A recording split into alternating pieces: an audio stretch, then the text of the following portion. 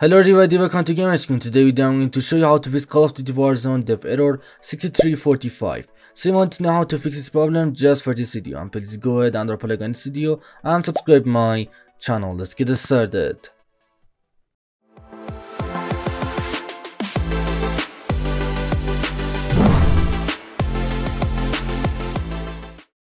Okay guys, for the, first method to fix this error, first of all just gonna click on Call of Duty Modern Warfare icon and then click on open file location and just go to the open file location and then scroll up and uh, look to find data folder and then just go to the data folder.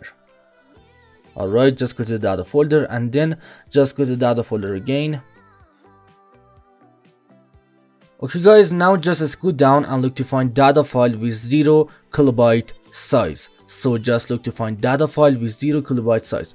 And as you can see i don't have any data file with 0 kilobyte size but if you have it just uh, right click on it and then just go down and click on delete. 0 kilobyte size it means the file is corrupted. So just go to the here and look to find data file with 0 kilobyte size and just uh, right click on it and then just right click on it and go down and click on delete. And just go on delete uh, data file with uh, 0 kilobyte size. And then just go on uh, close this window and now just can open up a Battle.net launcher just open up Battle.net launcher. And then just can click on options and call of duty warzone. Just click on options and call of duty warzone and then just can click on scan and repair.